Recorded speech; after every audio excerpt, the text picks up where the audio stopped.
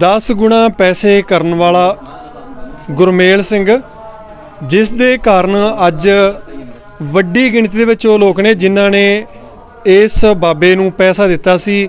ਇਸ ਸੋਚ ਦੇ ਮੁਤਾਬਕ ਕਿ ਉਸ ਦੇ ਪੈਸੇ ਬਹੁਤ ਜ਼ਿਆਦਾ ਵੱਧ ਜਾਣਗੇ ਤੇ ਆਪਣਾ ਕੋਈ ਹੋਰ ਉਹ ਕੰਮਕਾਰ ਕਰਨਗੇ। ਪਰ ਇਸ ਦੇ ਦੌਰਾਨ ਹੀ ਇੱਕ ਅਜਿਹੀ ਕਹਾਣੀ, ਇੱਕ ਅਜਿਹੀ ਗੱਲਬਾਤ ਵੀ ਹੋ ਗਈ ਹੈ ਜਿਹਨੂੰ ਸੁਣ ਕੇ ਤੁਹਾਡੇ ਮਨ ਨੂੰ ਵੀ ਜ਼ਰੂਰ ਲੱਗੇਗਾ ਕਿਤੇ ਨਾ ਕਿਤੇ ਕਿ ਇਹ ਬਹੁਤ ਹੀ ਗਲਤ ਕੰਮ ਕਰਿਆ ਉਸ ਇਨਸਾਨ ਨੇ। ਅਸੀਂ ਖੜੇ ਆ ਲਾਲ ਮੁਹੰਮਦ ਦੇ ਘਰ। ਇਸ ਇਨਸਾਨ ਨੇ ਆਪਣੀ ਬੇਟੀ ਦਾ ਵਿਆਹ ਰੱਖਿਆ ਹੋਇਆ ਸੀ ਤੇ ਉਸ ਬਾਬੇ ਨੂੰ ਇਸ ਨੇ 75000 ਰੁਪਇਆ ਦਿੱਤਾ ਸੀ। ਆਪਣੇ ਨਾਲ ਇਸ ਟਾਈਮ ਨੇ ਲਾਲ ਮੁਹੰਮਦ।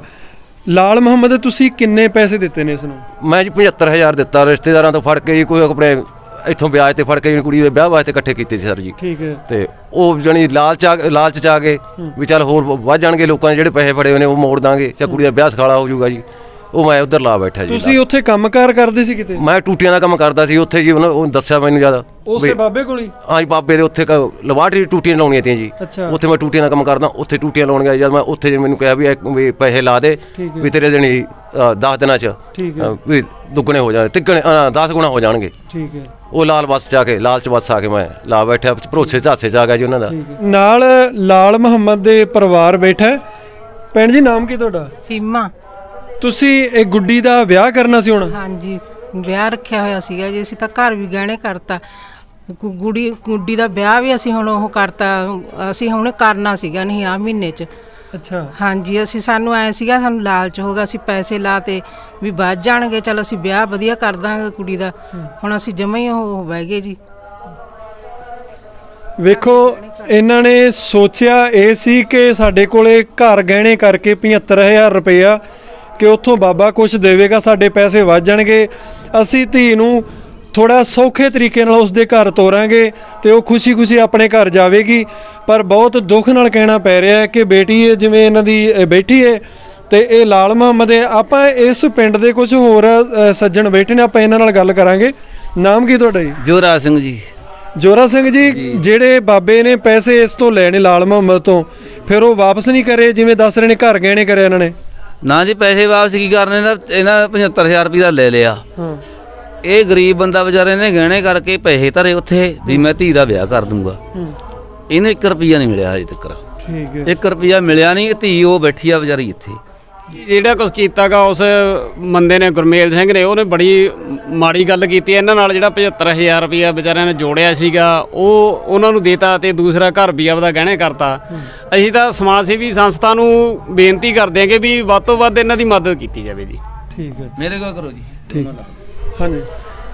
ਇਹਨੇ ਮਕਾਓ ਗੱਲ ਆ ਗਮਾਂਡ ਘਰ ਆ ਜੱਟਾਂ ਦਾ। ਜੀ। ਇਹ ਤਾਂ 40000 ਰੁਪਏ ਲਿਆ। ਜੀ। ਇਹ ਤੋਂ ਹਜੇ ਤੱਕ ਮੁੜਿਆ ਨਹੀਂ ਉਹ ਬੰਦੇ ਤੋਂ ਮੁਹੰਮਦ ਤੋਂ।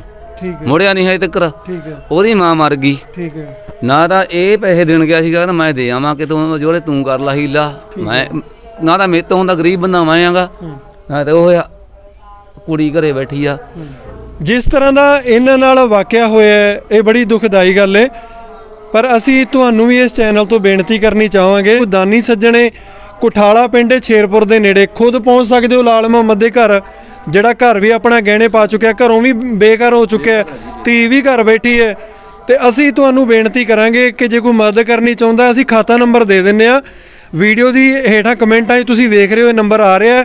ਇਸ ਨੰਬਰ ਦੇ ਉੱਪਰ ਤੁਸੀਂ ਰਕਮ ਭੇਜ ਸਕਦੇ ਹੋ ਜਾਂ ਕੋਈ ਸੇਵਾ ਕਰਨੀ ਚਾਹੁੰਦੇ ਹੋ, ਕੋਈ ਪੇਟੀ, ਕੋਈ ਦਾਜ ਦਾ ਸਮਾਨ ਦੇਣਾ ਚਾਹੁੰਦੇ ਹੋ, ਆਣ ਕੇ ਦੇ ਸਕਦੇ ਹੋ ਜਾਂ ਦਾਸ ਨੂੰ ਹੁਕਮ ਕਰੋਗੇ, ਚੈਨਲ ਦਾ ਅਖੀਰ ਦੇ ਵਿੱਚ WhatsApp ਨੰਬਰ ਹੈ, WhatsApp ਦੇ ਉੱਪਰ ਤੁਸੀਂ ਸੁਨੇਹਾ ਦੇ ਸਕਦੇ ਹੋ, ਅਸੀਂ ਤੁਰੰਤ ਤੁਹਾਡੇ ਹਾਜ਼ਰ ਹੋਵਾਂਗੇ, ਰਾਣਾ ਬਾਬਾ ਸਾਡੇ ਕੋਲ ਬੈਠੇ ਨੇ, ਇਹਨਾਂ ਦੀ ਤੁਸੀਂ ਮਦਦ ਲੈ ਸਕਦੇ ਹੋ, ਇਹ ਪਿੰਡ ਦੇ ਵੀਰ ਨੇ ਹਰਬੰਸ ਸਿੰਘ, ਉਹ ਵੀਰ ਬੈਠਾ ਹੈ, ਇਹ ਜੋਰਾ ਸਿੰਘ ਜੀ ਬੈਠੇ ਨੇ, ਤੇ ਤੁਸੀਂ ਆਪਾਂ ਨੂੰ ਬਹੁਤ ਹੀ, ਜੋ ਉਹਨੇ ਕਰਿਆ ਇਨਸਾਨ ਨੇ, ਵੱਖਰੀ ਗੱਲ ਹੈ, ਆਪਾਂ ਕੁਝ ਨਹੀਂ ਅਸੀਂ ਕਹਿ ਸਕਦੇ, ਪਰ ਹੱਥ ਜੋੜ ਕੇ ਬੇਨਤੀ ਹੈ ਕਿ ਇਸ ਧੀ ਨੂੰ ਆਪਾਂ ਜਲਦੀ ਤੋਂ ਜਲਦੀ ਇਹਦੇ ਘਰ ਵਿਦਾ ਕਰਨਾ ਹੈ ਤੇ ਇਹਨੂੰ ਮਾਣ ਵੀ ਹੋਵੇ, ਮੇਰੇ ਸਿਰ ਤੇ ਭਰਾ ਵੀ ਹੈਗੇ ਨੇ।